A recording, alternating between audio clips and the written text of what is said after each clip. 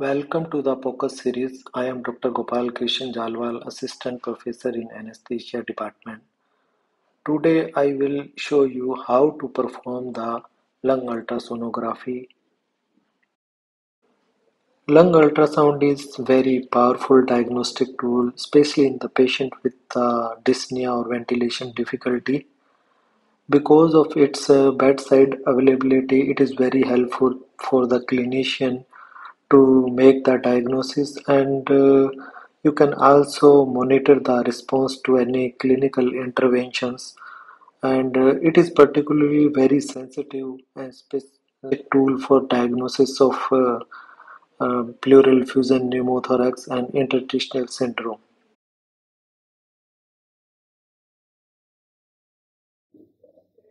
A standard point of care lung examination involves the assessment of three specific ultrasound positions for the each lung. Uh, under the blue pro protocol, blue stand for the bedside lung ultrasound in emergency. So what are these three specific uh, points? So the first blue point is uh, just below the clavicle into mid clavicular line here the second intercostal space. Okay and the second blue point is located on the anterolateral chest wall just lateral to the nipple in a fourth intercostal space between the anterior and mid axillary line. And the third blue point that is also known as a PLAPS point. PLAPS stands uh, stands for the posterior or lateral alveolar or the pleural syndrome the PLAPS point is just perpendicular to the second blue point in the posterior axillary line here.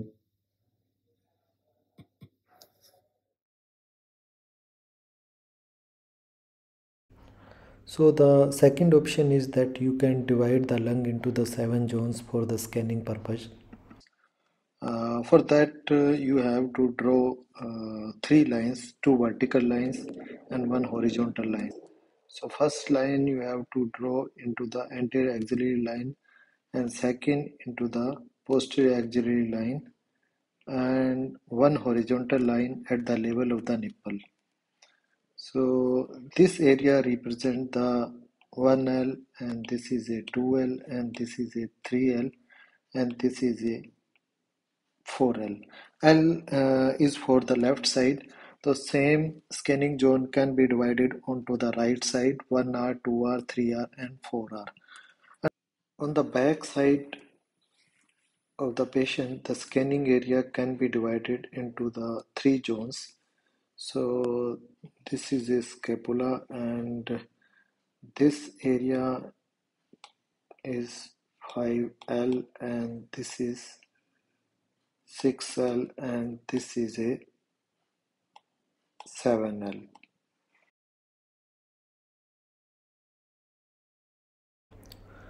In the lung ultrasound, we use both type of the probe, linear and curvilinear probe. But if you are looking for the pleural pathology such as pneumothorax, then uh, you have to do scanning with the high frequency linear probe.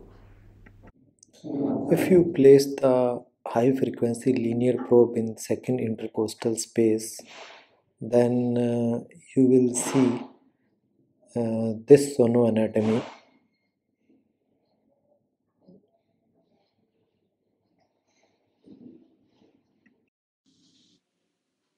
this is a normal lung sonoanatomy this, this is a skin subcutaneous tissue hair superior rib and inferior rib the bony structure always gives a acoustic shadow in the ultrasonography. Here you can see the acoustic shadow of the ribs and in between the ribs these are the intercostal muscles and uh, just below the intercostal muscles here you can see a hyperechoic continuous line that is the pleura. In the normal lung ultrasonography parietal and visceral pleura are not visible, we cannot differentiate the parietal and visceral pleura, but they slide against each other in synchrony with the respiration. This is also known as a sliding sign, shimmering, or ants on a line. If sliding sign is present, then we can rule out the pneumothorax. And uh, if we outline the ribs and uh, pleura like this, then it gives the appearance of bat. So this is also known as a bat wing sign or bat sign. Uh, the importance of bat wing sign is that if we place the high frequency linear probe in a second intercostal space sometime you cannot visualize the both ribs and uh, pleura completely. So if uh, you are uh, seeing the bat wing sign, then it means uh, you are at proper place and uh, that is better to evaluation of the pleura. And uh, just below the pleura, there are few parallel lines, these lines. So these lines are the A lines. These A lines are because of the air reverberation artifact.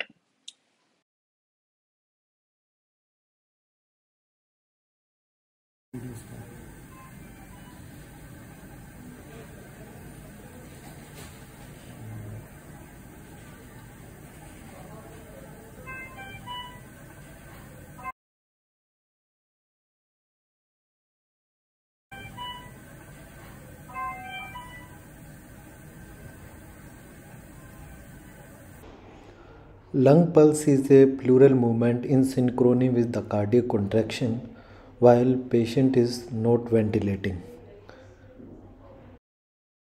The presence of lung pulse rule out the pneumothorax.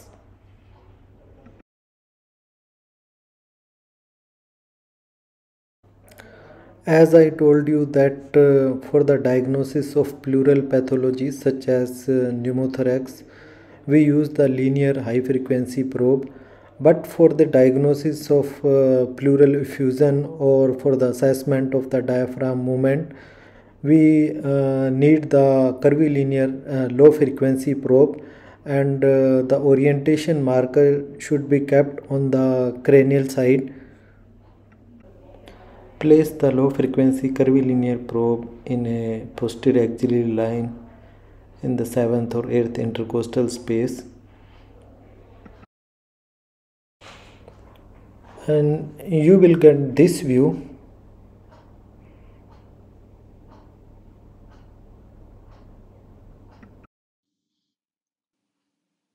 When you place your low frequency curvilinear probe in 7th 8th intercostal space in posterior axillary line then first structure that you have to identify is the kidney. Uh, on ultrasound, kidney is a bean-shaped structure. Here you, you can see. And we know that kidney has two parts. Outer is the cortex and inner is the medulla. On ultrasound, cortex is a anechoic or slightly hypoechoic. Here you can see this is a cortex. And medulla is a uh, slightly hyperechoic structure uh, here this is a medulla. So once you identify the kidney, then you have to move your probe upward uh, to visualize the liver if uh, liver is not visible in that plane. So liver looks like a slice of bread and gives a homogeneous appearance. Uh, so this is a liver and few blood vessels such as hepatic vein, portal vein, or their tributaries can be visualized into the liver. And just above the liver, this is a diaphragm. So for the pleural effusion, uh, you can look just above the diaphragm uh, here. And uh, here you can see uh, a interrupted hyperechoic line is spine.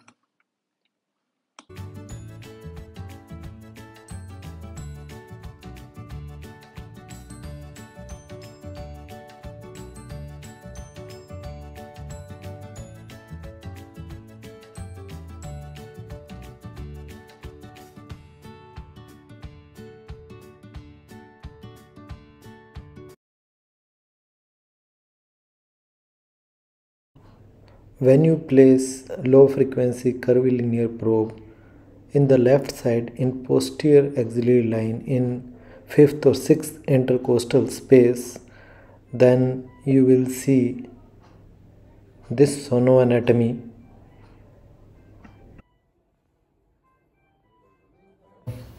As we see on the right side here also our first structure that we have to identify is the kidney as uh, I explained the kidney already in the right side of the view. So here this is a bean shaped structure that is the kidney. And this is a cortex.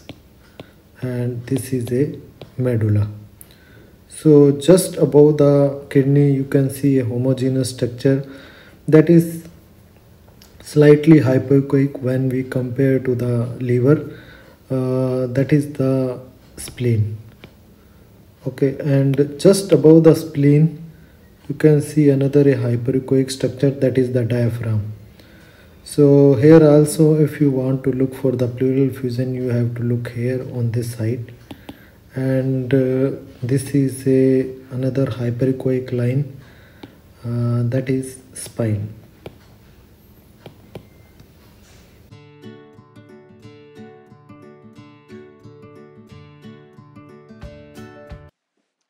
So when you move your probe in upward direction from the liver, you will see this view here. You can see lung is pushing down the uh, diaphragm in synchrony with the respiration and resembling the curtain. That's why it called uh, a curtain sign. And if curtain sign is present, then uh, we can rule out the pleural effusion. And just below the diaphragm you can see the liver and few blood vessels inside the liver. And when you move your probe downward you can see the kidney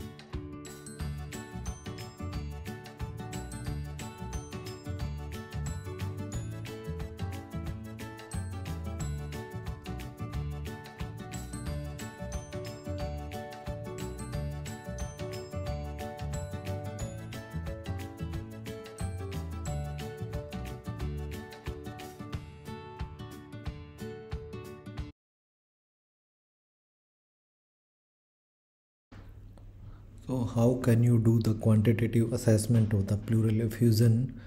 Uh, pleural effusion is a fluid collection between the parietal and visceral pleura.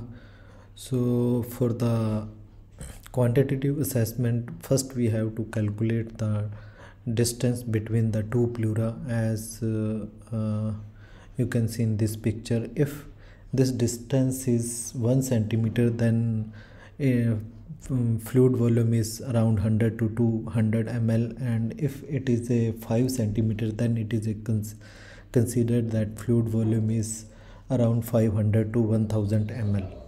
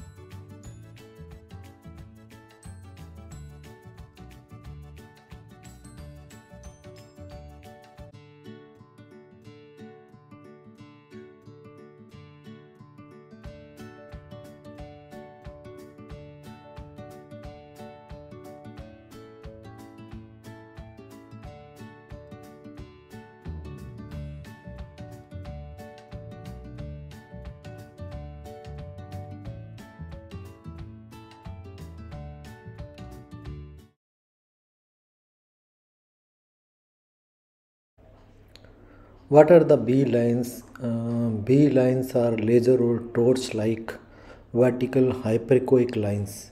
They rise from the pleural line and extend uh, till the bottom of the screen and they move in synchrony with the respiration and here in this slide you can see the B lines B lines are not always pathological. Uh, two or three B lines can be visible uh, in a healthy patient, but if you see more than three B lines in any area, then uh, it indicates some pathology. So you have to suspect for the cardiogenic pulmonary edema, non-cardiogenic pulmonary edema, or interstitial lung disease, pneumonia, ARDS, or lung contusion.